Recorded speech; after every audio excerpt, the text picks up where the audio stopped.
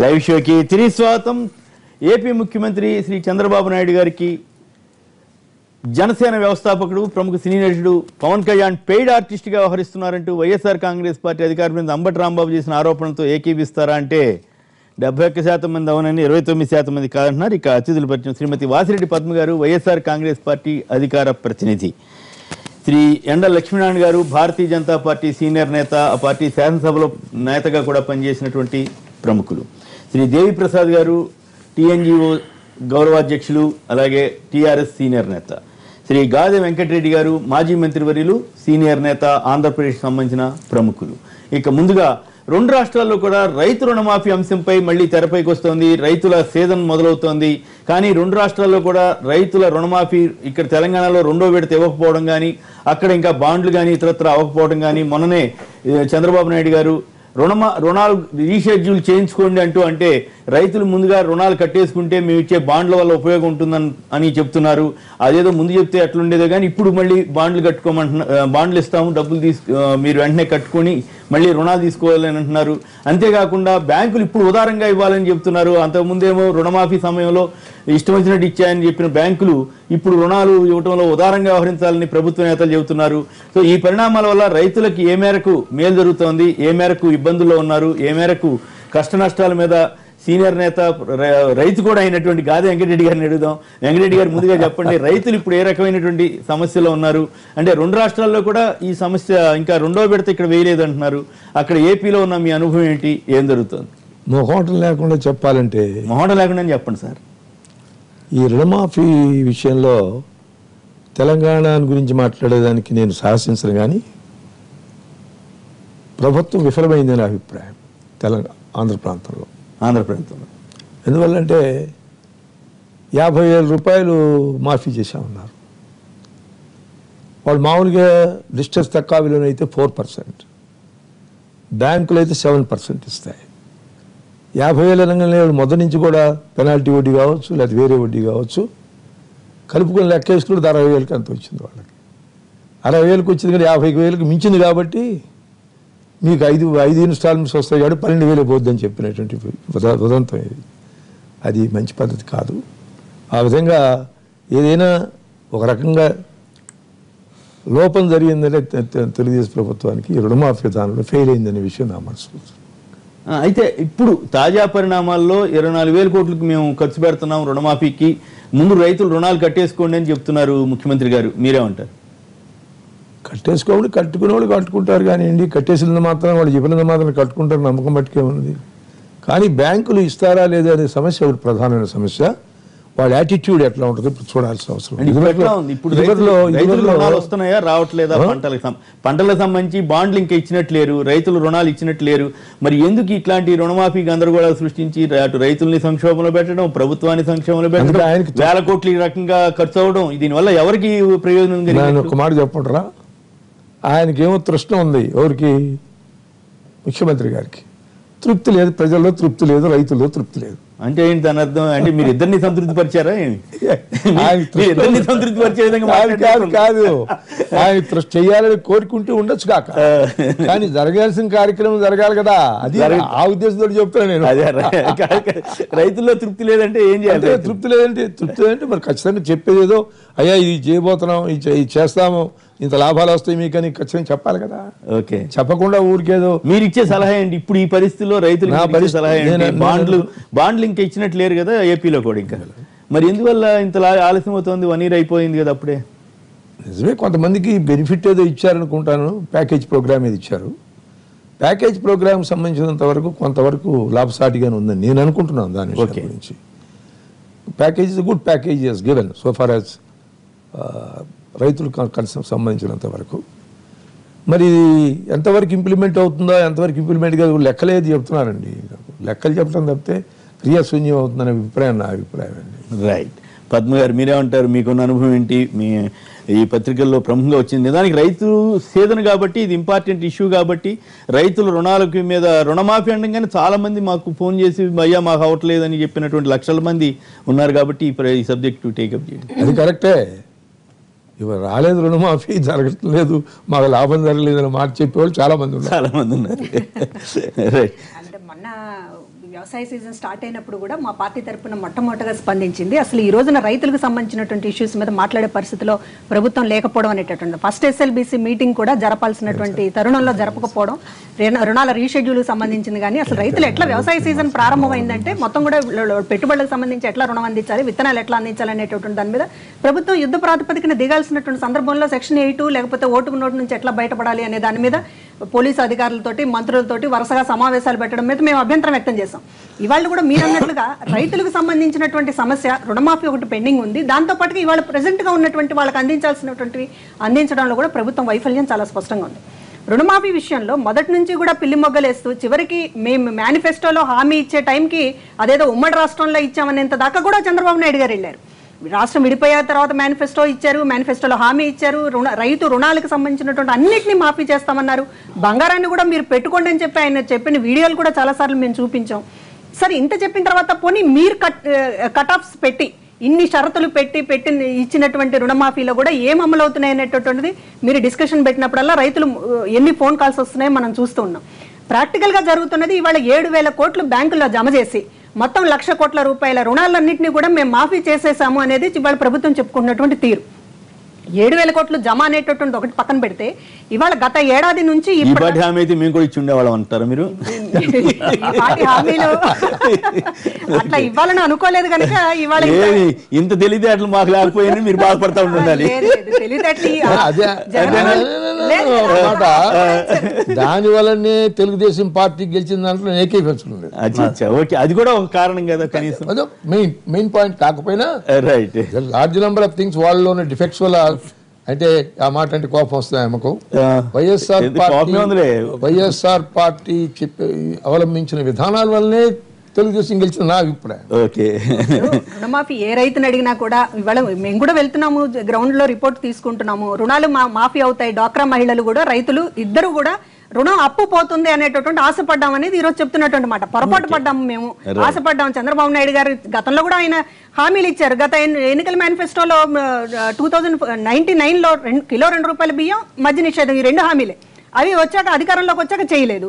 ఆ తర్వాత మళ్ళీ ఇప్పుడు రుణమాఫీ రెండు వేల రూపాయలు నిరుద్యోగ భృతి ఇవన్నీ హామీలు ఇస్తారు చెయ్యరు అనేటటువంటి ఇది ఉన్నప్పటికీ కూడా ఆశపడ్డారు. అప్పు పోతుందేమో అనేటటువంటి ఒక ఆశపడ్డారు వేశారు. సరే ఏ పార్టీలోనైనా సంస్థాగతంగా లోపాలు ఉంటాయి మే సరిదిద్దుకోవాల్సినవి సరిదిద్దుకుంటాం. కానీ దానివల్లే ఓటమి అనేటటువంటిది అది వెంకటరెడ్డి గారి అభిప్రాయం అయితే అయి ఉండొచ్చు కానీ రుణమాఫీ డాక్రా అనే మహిళలు రైతులు కూడా పూర్తిగా అప్పు పోతుందని ఆశపడ్డారు. ఆ మేరకు ఓట్లు ఏ రకంగా గెలిచినా మీరు ఈ పాయింట్ మీకు ఉపయోగం కాబట్టి మీరు ఇది చెబుతారు. సహజమే కదా? అప్పు పోతుంది. కదా. అంటాం. వాళ్ళు ఇప్పుడు చెప్తున్నటువంటి కూడా అదే విషయం. మేము మేము అందుకే ఓట్లేసామని వాళ్ళు చెప్తున్న తర్వాత మనం తీసుకోవాలి కదా. మీరు గెలిచిన తర్వాత అటాక్ చెబుతారుగా మరి ఏ పద్దెనిమిది సీట్లు ఉప ఎన్నికల్లో గెలిచిన అరవై ఏడు సీట్లు ఇంత హోరా బీజేపీతో పొత్తు పెట్టుకుని. బీజేపీ అదే ప్రమాణం తెచ్చిపెట్టిందా? బీజేపీతో పొత్తు పెట్టుకున్న సందర్భంలో కూడా అరవై ఏడు సీట్లు పక్క వదిలిపెట్టుకుపోయింది. అధికారం పోతే పోయింది కానీ బాగానే వచ్చింది పక్క రాష్ట్రాల్లో కాదండి మొత్తం దేశవ్యాప్తంగా. చూడండి మీరు. మోడీని అడ్డం పెట్టుకుని మొత్తం కూడా ఒక హవా నడిచినటువంటి వేవ్ వచ్చినటువంటి పరిస్థితుల్లో ఇక్కడ అరవై ఏడు పవన్ కళ్యాణ్ కూడా help చేశాడు వాళ్ళకి. అరవై ఏడు సీట్లు గెలవడం అంటే ఇక్కడ ఎన్ని శక్తులు పనిచేసినాయి. అని ఈ సందర్భంలో అరవై ఏడు సీట్లు గెలవడం గాది వెంకటరెడ్డి గారు లాంటి వాళ్ళు హెల్ప్ చేయలేదు అది చేయలేదు ఈ రకంగా జరిగినప్పటికీ కూడా అరవై ఏడు సీట్లు గెలిచామంటే. రుణమాఫీ ఎఫెక్ట్ ఎంత ఉంది అనేటటువంటిది కనపడుతున్నటువంటి. ఇవాళ కూడా మేము అడుగుతున్నది సిన్సియర్గా మేము అడుగుతున్న కనీసం వాళ్ళు వడ్డీ రాయితీ కూడా కోల్పోయారు. కేంద్రం ఇచ్చినటువంటిది రాష్ట్రం ఇచ్చినటువంటిది కోల్పోయారు. ప్రమాద పంట బీమా కోల్పోయారు. ఇవాళ ప్రైవేట్ వడ్డీ వ్యాపారస్తుల దగ్గర తిరుగుతున్నారు రైతులు అనేటటువంటిది అవును. రైతుల్ని ఇరవై ఏళ్ళు వెనక్కి నెట్టినటువంటి చంద్రబాబు నాయుడు గారు ఏం సమాధానం చెప్తారు ఇప్పుడు అనేది మా రైట్ ఓకే లక్ష్మణ్ గారు ఏంటి తెలంగాణ పరిస్థితి ఏంటి? ఖరీఫ్ సీజన్ ప్రారంభమైంది. రైతులకు అప్పు మేము రాగానే మాఫీ చేస్తామని అన్నారు. గతంలో రైతులకు అప్పు ఒక శతకంతో మాఫీ అయినటువంటి పరిస్థితులు ఆ రోజు దాన్ని అనుభవం దాన్ని అది ఆధారంగా చేసుకొని ప్రజలు రెస్పాండ్ అయ్యారు కూడా. ఆకాంక్ష ఇచ్చారు. మరి విడతలు విడతలుగా అన్నారు. విడతలు రెండో విడతకు వచ్చేస్తే ఇప్పుడు ఒక దిక్కు ఖరీఫ్ సీజన్ ప్రారంభమైంది. మరొక దిక్కు ఆ, విధమైనటువంటి దృక్కోణం ఇంకా ప్రభుత్వం నుంచి కనపడతలేదు. నాలుగు శాతమే రుణాలు ఇచ్చారని కేంద్రం ఏమో అంటే దేశం మొత్తం మీద ఎనిమిది ఎనిమిది లక్షల యాభై వేల కోట్లు అయితే ఈ రాష్ట్ర ఈ తెలంగాణ రాష్ట్రానికి ముప్పై ఏడు వేల కోట్ల పైన బ్యాంకింగ్ రైతులకు రుణాలు ఇవ్వాలనేటువంటి లక్ష్యం పెట్టుకుంటే ఈ ప్రభుత్వం ఆ లక్ష ఆ లక్ష్యానికి ఇంకా ఏడు వేల కోట్ల ద- డిఫరెన్స్ తోని ఎస్టిమేషన్. అంచనాలే సరిగా. సరిగా లేనటువంటి పరిస్థితి ఉంది. మరి నాలుగు శాతమే రుణాలు ఇచ్చినటువంటి పరిస్థితి ఏదైతే ఉన్నదో ఇది మరి రైతు ఈ పెట్టుబడి అవసరమైనటువంటి పరిస్థితుల్లో అల్లాడేటువంటి పరిస్థితి. మాఫీ ఏమన్నాయి కానీ రుణం లేనటువంటి పరిస్థితి ఏదైతే ఉన్నదో మరి దిక్కుతోచనటువంటి పరిస్థితి ఉంది. తొలకర వాహనాలు కొంత సహకరిస్తా ఉన్నటువంటి పరిస్థితుల్లో మరి రైతుకు పెట్టుబడి లేనటువంటి పరిస్థితి ఏదైతే ఉందో వీళ్ళు రాజకీయాల మీద రాజకీయ రైతే కదా నిన్న నాలుగు రోజులు మళ్ళీ మొన్న ఫామ్ హౌస్లో ఉండి వచ్చారు కౌ ఆ, ఏదైతే కేసీఆర్ గారు రైతు ఫామ్ హౌస్లో వారు వారు ఉండ ఉన్నారు దా దాంట్లో ఫామ్ హౌస్లో వారు ఉండడం వల్ల సమస్య ఉండదు. ముఖ్యమంత్రిగా అధికారం ఇచ్చారు ముఖ్య ముఖ్యమంత్రి ఛాంబర్లో ఉండి ఈ యావత్ రాష్ట్రానికి సంబంధించినటువంటి రైతుల గురించి ఆలోచించాల్సిన ఆయన వెళ్ళకపోతేనేమో ఆయనకి వ్యవసాయం ఉంది ఆయన చేయడం చేయట్లేదని అప్పుడు అంటారు. అపోజిషన్కి ఏముంది ఎటైనా మాట్లాడచ్చు. ఇప్పుడు సహజంగా డెబ్బై శాతం మంది ఒక దశలా ఆధారపడేటువంటి వృత్తి వ్యవసాయం. ఇప్పుడు కనీసం యాభై ఐదు శాతం మందికి జీవన జీవనోపాధి కల్పిస్తున్నటువంటిది వ్యవసాయం. ప్రత్యక్షంగానో పరోక్షంగానో అనేక మందికి ఆ అనుభవం ఉంది ఆ ఆధారం ఉంది. దా ముఖ్యమంత్రి గారు ఫామ్ హౌస్లో ఊకుండడం వల్ల రైతులకు మేలు చేయడం కాదు. ముఖ్యమంత్రి గారు తన పంట తన పంటను ఎట్లా కాపాడుకోవాలా లేకపోతే అక్కడ ఉండి రాజకీయాలు ఎట్లా చేయాలనేటువంటి దానికి అది ఉపయోగపడుతుందచ్చో ఫామ్ హౌస్ కానీ? అనేకమైనటువంటి విషయ విషయాల్ని అక్కడ ఉన్నాడు కదా వెళ్ళాడు. మరి సెక్రటేరియట్కి వచ్చి ఈ రైతులకు సంబంధించినటువంటి రుణమాఫీకి రెండో విడతకు సంబంధించినటువంటి ఇచ్చి వేగవంతంగా ఈ యొక్క రు- రుణాలు రైతులకు అందేటువంటి చర్యలు తీసుకోవాల్సినటువంటి అవసరం ఉంది. తాత్సారం చేస్తే రైతుల నుంచి ఆగ్రహం గారు చెప్పండి మీరు కూడా ప్రభుత్వంలో ఉన్నారు కదా ఒక రకంగా. ఆయన ఇంపార్టెంట్ రోల్ ప్లే చేస్తున్నాడు కదా. ఆ, అంటే ఇప్పుడు రైతులకు సంబంధించినటువంటి రుణమాఫీ టీఆర్ఎస్ పార్టీలో మేనిఫెస్టోలో పెట్టిన విధంగా అధికారంలోకి రాగానే విడతల వారీగా ఇస్తామని ఇరవై- ఐదు శాతం ఆల్రెడీ ఇవ్వడం జరిగింది. ఇంకా ఇరవై ఐదు శాతం అన్న వార్షిక ప్రణాళిక విడుదల సందర్భంగా కూడా మా వ్యవసాయ శాఖ మంత్రి పోచారం శ్రీనివాసరెడ్డి కూడా త్వరలోనే మేము ఇచ్చే ఇప్పుడు అక్రమాలు తేలాలి అవన్నీ ఈ- అంటున్నారు ఈ- కదా. అంటే అక్కడ ఇప్పుడు ప్రతి బ్యాంకులకు సంబంధించినటువంటి ఆర్బీఐకి సంబంధించినటువంటి ఇబ్బందులు కొన్ని ఉన్నాయి. అట్లాగే రైతులకు సంబంధించినటువంటి రుణాలు రెన్యువల్ చేయాలనే దగ్గరగా బ్యాంకుల నుండి వచ్చేటువంటి అనేక అడ్డంకులు కూడా ఎదురవుతా ఉన్నాయి. కాబట్టి ఇక్కడ రైతులకు సంబంధించి పార్టీలు ఏమైనా ఇవాళ ఇక్కడైనా అక్కడైనా ఇంకెక్కడైనా. నూటికి డెబ్బై శాతంగా ఉన్నటువంటి రైతులకి ఒక కేవలం రుణమాఫీలతోనే వాళ్ళ సమస్యలు పరిష్కారం కావు. రుణమాఫీ ఇవ్వాల్సిందే తప్పకుండా ఇస్తే తప్ప కొంత ఊరట సమ లేనటువంటి వ్యవస్థ ఉంది.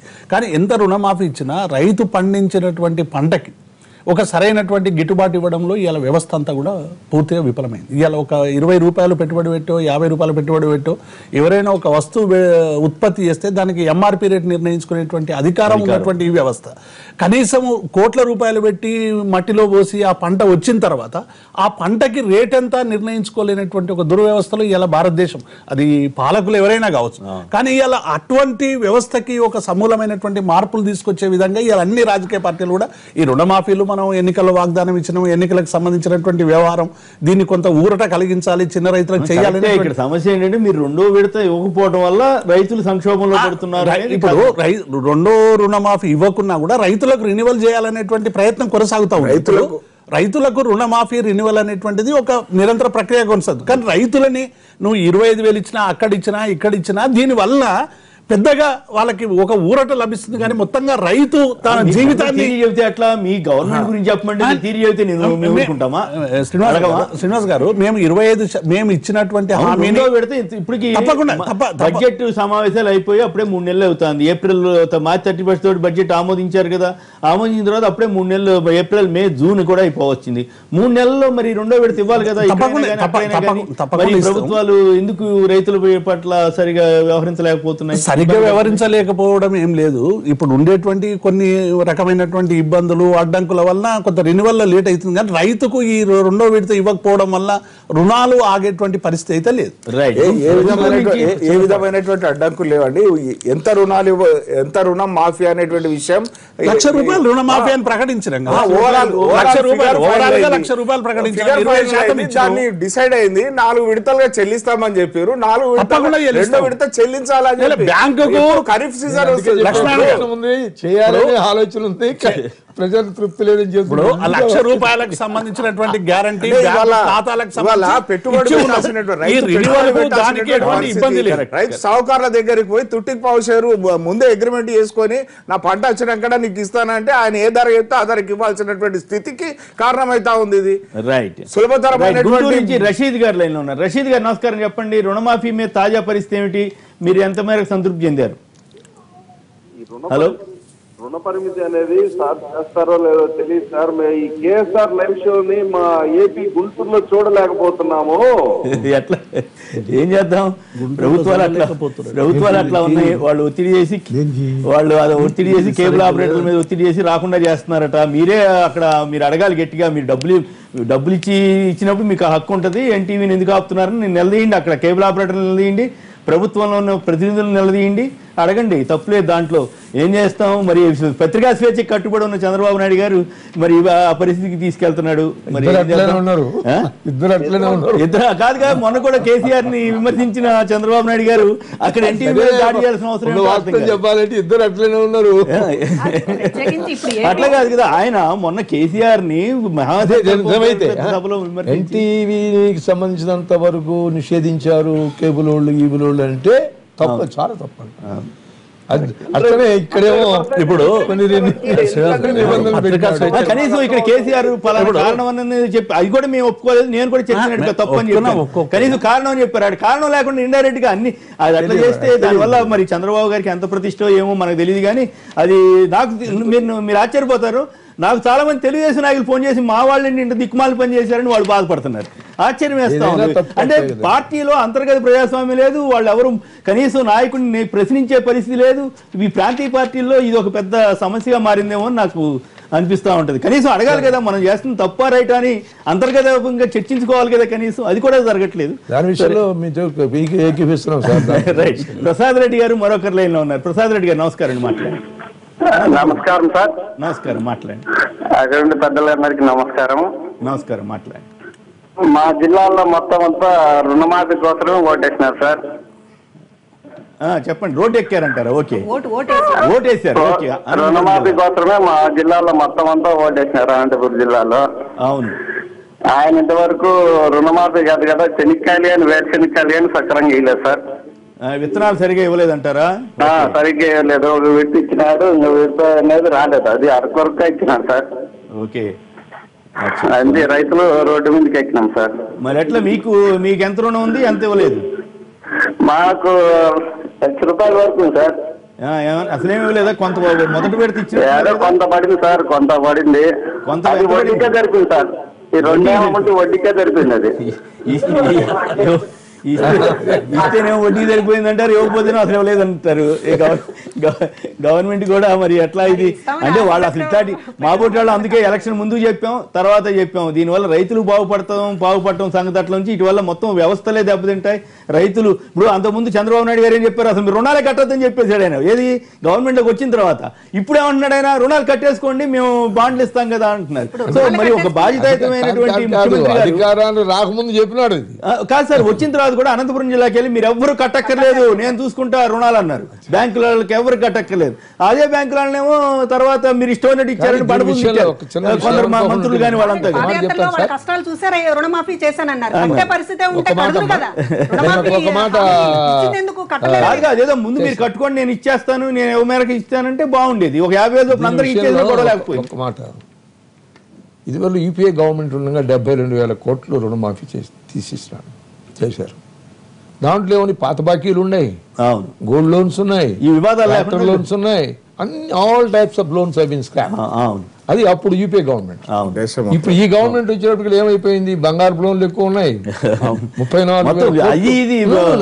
బంగారు లోన్లు ఎక్కువ ఉన్నాయి. ఈ క్రాప్ లోన్స్ ఎక్కువ ఉన్నాయి. ట్రాక్టర్ లోన్స్ ఉన్నాయి. తర్వాత ఆక్వా కల్చర్కి సంబంధించిన లోన్స్ ఉన్నాయి. తర్వాత ఈ మన కోల్డ్ స్టోరేజ్లు ఉన్నాయి చూడండి సార్ దానికి కూడా సబ్సిడీ వస్తుంది. అవును. అవన్నీ కలుపుకొని లెక్క చూసుకున్నప్పుడు ఆమె చెప్పినట్లు లక్ష కోట్లు లక్ష కోట్లకి వస్తుంది. దాంట్లోకి వస్తే. అందువల్ల దీనివల్ల బ్యాంక్స్ కూడా ఇంకోటి కూడా చెప్తాను. స్కేల్ ఆఫ్ ఫైనాన్స్ అని అంటున్నారు. అది ఇప్పుడు వచ్చింది. మీకు నాకు తెలుసండి అసలు ఆ గొడవే తెలియదు ఒక- మాట నా ఓటోడు ఇన్ఫ్లుయెన్స్ లేనటువంటి ఏమో ఇరవై ఐదు వేలు ఇచ్చినారు అవును. ఇన్ఫ్లుయెన్స్ లాంటి ఆమెకేమో ఒక మాట వరకు ఆమెకు ఉందని కాదు.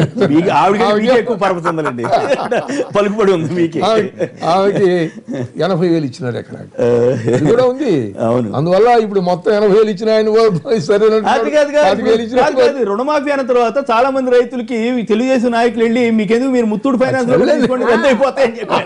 కరపత్రాలు వేశారు. అనంతపురం జిల్లాలో అయితే నాకు ఫోన్ కరపత్రాలు వేశారు సార్ ఇట్లా అని చెప్పి. ఎన్నికలకి ముందు ఎన్నెన్నో మాటలు మా అవసరం లేకుండా మాట్లాడి చెప్పారు. ఇద్దరు అది- అది దా- ఇప్పుడు అవస్థ పడుతున్నారండి. అది కరెక్ట్. ఒంగోలు నుంచి రాజుగారు లైన్లో ఉన్నారు రాజుగారు నమస్కారం మాట్లాడండి. రాజుగారు. రాజుగారు నమస్కారం మాట్లాడండి. అక్కడ ఉన్న నమస్కారం. చర్చా కార్యక్రమం ఏదైనా సరే నేను ఎవరిని మాట్లాడదలుచుకున్నానండి. ఎవరు ఎవరిని పద్ధతిగా మాట్లాడండి? ఎంత మీరు పద్ధతిగా మాట్లాడండి. రుణమాఫీలు ఈ వ్యవహారం పక్కన పెడితే ఇదే కార్యక్రమంలో సీఎం రమేష్ గారు ఎన్టీవీ నెల్సన్ సర్వేలో వచ్చి ఆయన ఏదో ఛాలెంజ్ చేసి ఇది ఎన్టీవీని ఆపేస్తారా ఎన్టీవీ టీడీపీ గెలిస్తే ఎన్టీవీని తీసేస్తారా అనే మాటలు నిరూపణ చేస్తున్నాడండి ఆయన. ఓకే. ఓకే. ఏం చేస్తాం? రాజకీయ నాయకులు వాళ్ళ ఇప్పుడు అధికారం ఉంటే ఓ రకంగా ఉంటారు అధికారం లేనప్పుడు ఓ రకంగా ఉంటారు. ఇదే చంద్రబాబు నాయుడు గారు ఎన్నిసార్లు కేసీఆర్ గారి మీద మీడియాని అణిచేస్తుంటే మీరు ఎవరు మాట్లాడలేకపోతున్నారని కనపడిన మీడియా వాళ్ళందరినీ అనేవాడు. అది ఏం చేస్తాం? ఆయన అధికారం అంటే అట్లా ఉంటదన్నమాట. అధికారం ఎట్లా ఉంటుందో చూపిస్తున్నారు వాళ్ళు. ప్రజాస్వామ్యంలో ప్రజాస్వామ్యంలో ఇట్లాంటి కొన్ని సందర్భాల్లో తప్పదు. ఇందిరాగాంధీ గారి ముందు ఒక రకంగా మాట్లాడితే అధికారం వచ్చిందో ఒక రకంగా మాట్లాడుతున్నారు. ప్రెస్టీజ్ ఈ- మీ- మీకు తెలుసు నాకు తెలుసు ఎన్ని ఎన్ని ఎన్ని గవర్నమెంట్ చూడలేదు ఎన్ని కథలు చూడలేదు. అయితే చంద్రబాబు నాయుడు గారు జనరల్గా ప్రెస్ జోలికి ఇట్లా ఎప్పుడు రా తక్కువ. వస్తుంటారు తక్కువ వస్తుంటారు ఇండైరెక్ట్గా ఏదో కింద మీద పడుతుంటారు ఎన్టీవీది ఎన్టీవీది కరెక్ట్ అండి ఎన్టీవీది? ఎన్టీవీది అక్కడ బ్యాన్ చేసిన మన కరెక్టేనా ఆ, అనుమానం నేనే చెబుతున్నాను కదా అయితే మేమేంటంటే సరే చూద్దాం వాళ్ళు ఏమైనా పద్ధతిగా వస్తారో. తెల్లారి లేస్తే ప్రజాస్వామ్యం గురించి మాట్లాడే వాళ్ళు ఇలా చేయడం? గొడవ లేదు అది కాదు. నీతివంతుడైనా చేసే ఆ, అది. అలాంటి పనులు మళ్ళీ మీడియా ప్రజాస్వామ్యం అని చెప్తూ సరే, అది వేరే చర్చ అనుకోండి. అది ఇప్పుడు-. చెప్పేది చెప్పే మాటలు ఒకటి అది చేతలు దురదృష్టం ఒకటి. అందు- అందుట్లో ఇంత సీనియర్ అయినటువంటి చంద్రబాబు నాయుడు గారు ఇట్లాంటి పనులు చేయకూడదు. చేస్తే ఏమవుతుంది? చేశాడా? లేకపోతే ఎట్లా కేబుల్ వాళ్ళు చేశారని ఏం సార్ మీరు మీరు కూడా మీరు కూడా చాలా అమాయకంగా మాట్లాడతారు. రాజకీయ రాజకీయంలో పుట్టి పెరిగారు మీరు. అందుకే అమాయకంగా మాట్లాడతారు. అందుకే అమాయ అంటే అనంతపురం చెప్తారు. అనంతపురం శ్రీకాకుళం వరకు కేబుల్ ఆపరేటర్ తోటి పైగా కేబుల్ ఆపరేటర్లకి ఎవరు నేను కాదు ఇవాళే నాకు తెలియదు ఆ విషయాన్ని గురించి. అది-. టీవీలో అయితే కొంతమంది ధైర్యంగా ఉన్నవాళ్ళు లేదా జనం గొడవ చేసిన వాళ్ళు పెడుతున్నారు. గవర్నమెంట్ భయపెట్టి లేదా గవర్నమెంట్ ఇది ఫేవర్స్ దానివల్ల వచ్చే లాభం ఏముంటుందని అతనికి? లాభం అంటే ఏం లేదు. ప్రజలకి వాస్తవాలు వెళ్ళవద్దు. ప్రజలకి ఇబ్బంది మనం అంటే ప్రజలు ఎక్కువ మంది చూసేదాన్ని ఆపాలి. అది చర్చగా అది కూడా దురదృష్టం అది. తెలుగుదేశం వాళ్ళు ఎందుకు నేను ఇందాక చెప్పా కదా తెలుగుదేశం నాయకులు నాకు చాలా మంది ఏంది ఇట్లా చేస్తున్నారు? ఈ కేసు వచ్చాకే ఈ- ఈ- ఆ? ఈ- ఈ కేసు వచ్చాకే ఎన్టీవీకి సంబంధించినట్టు వచ్చింది. లేకపోతే అంత ముందు కేసుకు ఏముంది ముందు పైగా ఒకవేళ నిజంగానే నేను నేను నేను ఒకటి చెప్తాను సార్ మీరు ఆశ్చర్యపోతారు మీరు అడిగారు కాబట్టి చెప్తున్నాను. మీరు మేము పలానా తప్పు చేసామని చెప్తే సరిదిద్దుకోవడానికి ఎప్పుడైనా సిద్ధమని చెప్పి ఓపెన్గా చెప్తున్నాం. అట్లే లేకుండా మీరు అది చేయాలి భయం ఇప్పుడు కొన్ని కొన్ని టీవీలు భయం చేయొచ్చు. అందరూ భయం చేయాలంటే ఎట్లా? అందరినీ ఏ ముఖ్యమంత్రి అయినా సరే నేను ఒకటే కోరుకుంటున్నాను సార్. నిష్పక్షపాతంగా ఉండమని చెప్పండి తప్పులేదు నిర్మోహటంగా ఉండమని చెప్పండి తప్పులేదు కానీ సరే కనీసం బీ మిత్రపక్షమైన బీజేపీ కూడా అడగలేకపోతుంది వేరే వాళ్ళకి. బాగా సంతోషం. ఏమండి? కానీ ఏ టీవీకి పర్సనల్ ఎజెండా కూడా ఉంది సార్ మర్చిపో ఉన్న నేను కాదంట్లా. పర్సనల్ ఏజెండా ఉన్న టీవీలను పట్టుకోండి. మీరు నేనేం కాదంట్లా. పోనీ పర్సనల్ ఏజెండా ఉన్నప్పుడు పలాందని చెప్పాలి. కానీ అట్లా కాకుండా మొత్తం ఈ భజన చేయాలంటే ఇప్పుడు టీవీ? ప్రభుత్వాలు భజన చేయాలని కోరుకుంటున్నాయి. అది దురదృష్టం. ప్రజాస్వామ్యంలో ఇందిరాగాంధీ గారు మొత్తం మీడియానే బ్యాన్ చేసిన సందర్భం మనం చూసాం. మీకు తెలుసు కదా. ఆ, రోజుల్లో అద్వానీ. గారు వాజ్పేయి సరే అది వేరే చర్చ అనుకోండి. మరొకరు లైన్లో ఉన్నారు. Hello hello. సార్. వెంకటేష్ గారు నమస్కారం మాట్లాడండి. వెంకటేష్ గారు. సార్ మీరు కేబుల్ టీవీ అని అంటున్నారు కదా పబ్లిక్లో మార్పు రావాలి సార్? కేబుల్ టీవీ గుంటూరులో ఎన్టీవీ రావడం లేదు. నేను ఐదు సంవత్సరాల నుంచి చూస్తున్నా సార్ తెలంగాణలో ఎప్పుడప్పటి నుంచి. అవును. సరే. సార్? ఏదో నడుస్తా ఉంటాయి ఇటువంటి ప్రభుత్వాలు కొన్నిసార్లు ఇట్లా చేస్తా ఉంటాయి. రుణమాఫీ సార్. గురించి మాట్లాడండి దయచేసి. మాట్లాడదు సార్ రుణమాఫీ గురించి. రుణమాఫీ. సార్. రుణమాఫీ మార్కెటింగ్ లేదు రైతులకు. అది చేసే రుణమాఫీ అవసరం లేదు. కరెక్టే. వీళ్ళు ఎలక్షన్లు వచ్చి చెప్పిండ్రు అది పార్ట్ టైం గా చేస్తుండ్రు నాలుగు గంటలు మా దేవిసి అన్న ప్రసాద్ తెలుసు. అన్న సారు కూడా నాకు మ్యారేజ్లో కలిసిండు మన కాంగ్రెస్ లీడర్ గారు వెంకటరెడ్డి సార్ గారు. పద్మక్కని కూడా నేను వైఎస్ఆర్ సిపి ఆఫీస్ కాడ పోయి అక్కడ ఐదు సంవత్సరాల కింద కలిసిన. అయితే సార్ వీళ్ళకల్లా తెలుసు సార్ వ్యవసాయం ఎందుకంటే ప్రతి ఒక్కరు వ్యవసాయంలోకి వెళ్ళి వచ్చిండ్రు వ్యవసాయం పట్టించుకోరు. కోల్గేటు లలిత్ గేట్లు అని నేషనల్లో గట్స్ ఉన్నాయని బీజేపీ వీళ్ళు తిట్టుకోవడము. ప్రజలను అందరూ మర్చిపోతారు సార్. నమస్తే సార్. ఈ దీని గురించి చర్చనే వేరు సార్. మీరు బిజినెస్ గురించో రాష్ట్రం గురించో పిల్లల నిరుద్యోగుల గురించి పెట్టండి సార్. ఎక్కువ ఇదే రాజకీయం అవి ఇంపార్టెంటే. సమాజంలో జరిగేటన్నిటి మీద మాట్లాడాలి. ఇక నగరం నుంచి మరొకరి లైన్లో ఉన్నారు. నగరం నుంచి. హలో మోషే గారు. మోషే గారు నమస్కారం నమస్తే మాట్లాడండి. అండి. నమస్తే మాట్లాడండి. సార్ మరి మీరు ఇది ఎన్టీవీ గురించి మాట్లాడారు కదా. సార్ ఇప్పుడు ఆ చర్చ వద్దులేండి ఇప్పుడు మా బాధ ప్రజలు కోరుకుంటున్నారు. రుణమాఫీ మీద మాట్లాడండి దయచేసి. అదే మీ కొన్ని- అదే కొన్ని చోట్ల ధైర్యం ఉన్నవాళ్ళు కొన్ని కొన్ని చోట్ల ధైర్యం ఉన్నవాళ్ళు తెలుగుదేశంలో కొంచెం పద్ధతిగా అట్లా పద్ధతి కాదు తప్పు అనుకున్న వాళ్ళు వాటిని ఒత్తిడి చేయకుండా ఉంచుతున్నారు. అదే చెప్పడానికి చేసాము తర్వాత రుణమాఫీ కాడ? నాలుగు లక్ష రూపాయలు లోన్లో ట్వంటీ పర్సెంట్ రికవర్ అయింది సార్ ఫస్ట్ పెడతా ఆ, రెండో విడత బాండ్ వచ్చిందా మరి? సార్? బాండ్ బాండ్ వచ్చిందా? ఆ బాండ్ వచ్చింది రికవర్ అయింది. Very good. మంచిదే కదా ఇప్పుడు ఇట్లా కొంతమంది జరిగినా వాళ్ళ హామీ ప్రకారం జరిగితే సంతోషం. దానికి అభ్యంతరం కూడా ఉండాల్సిన అవసరం లేదు. ఇటువంటి వాటిలో ఎవరూ తప్పు పట్టక్కర్లేదు. కాకపోతే ఏంటంటే ఓవరాల్గా ఇటువంటి స్కీములు మంచివా కాదా? దీనివల్ల ఇప్పుడు ప్రభుత్వం కొన్ని ఆయనే చెబుతున్నాడు పాతిక వేల కోట్లు ఖర్చు పెట్టాల్సి వస్తుందని. అట్లాగే డ్వాక్రా రుణాలకు పదివేల కోట్లు ముప్పై ఐదు వేల కోట్లు ఒక రాష్ట్రం ఈ డబ్బు ఖర్చు పెట్టిన తర్వాత అది ఎట్లా ఉంటుంది అనేది చర్చ. అది నేను మొదటి నుంచి నా వైఖరి మొదటి నుంచి చెప్తూనే ఉన్నాను. ఏపీ ముఖ్యమంత్రి శ్రీ చంద్రబాబు నాయుడుకు జనసేన అధ్యక్షుడు పవన్ కళ్యాణ్ పెయిడ్ ఆర్టిస్ట్గా వ్యవహరిస్తున్నారన్న వైసీపీ నేత అంబటి రాంబాబు వ్యాఖ్యలను సమర్థిస్తారా అంటే ఎనభై ఐదు శాతం మంది అవునని పదిహేను శాతం మంది కాదంటున్నారు. ఇప్పుడు వచ్చిన విరామం తర్వాత లైవ్ షో.